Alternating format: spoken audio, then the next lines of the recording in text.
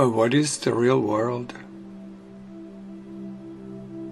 The real world is a symbol, like the rest of what perception offers. Yet it stands for what is opposite to what you made. Your world is seen through eyes of fear and brings the witnesses of terror to your mind. The real world cannot be perceived except through eyes forgiveness blesses.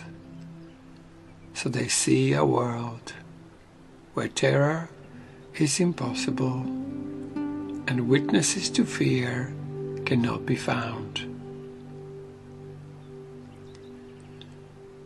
The real world holds a counterpart for each unhappy thought reflected in your world. A sure correction to the sights of fear and sounds of battle which your world contains. The real world shows a world seen differently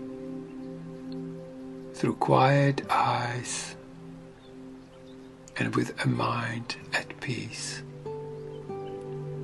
Nothing but rest is there. There are no cries of pain and sorrow heard,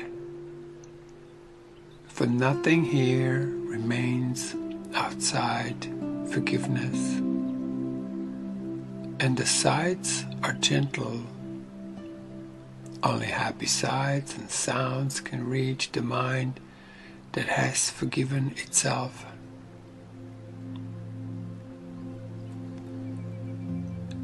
What need has such a mind for thoughts of death,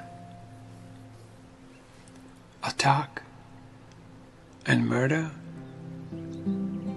What can it perceive surrounding it but safety, love, and joy?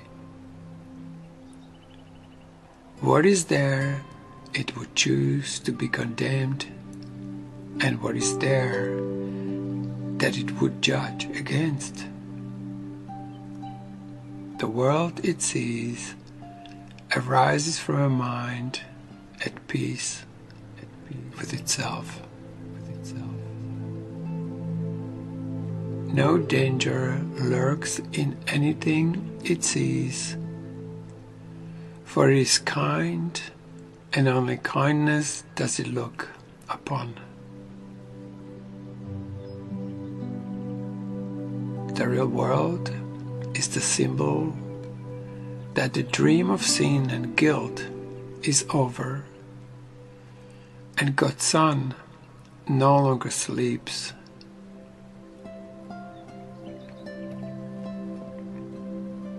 His waking eyes perceive the sure reflection of his Father's love, the certain promise that he is redeemed.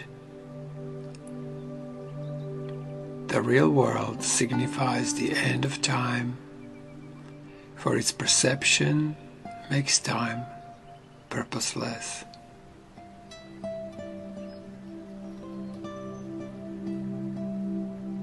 Holy Spirit has no need of time when it has served His purpose.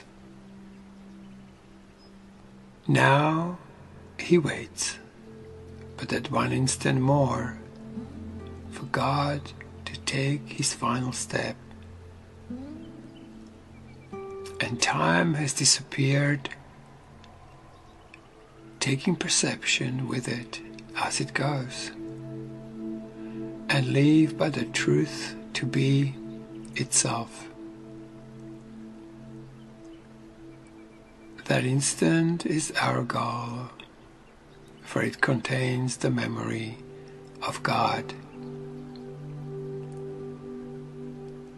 And as we look upon a world forgiven, it is He who calls to us and comes to take us home reminding us of our identity, which our forgiveness has restored to us.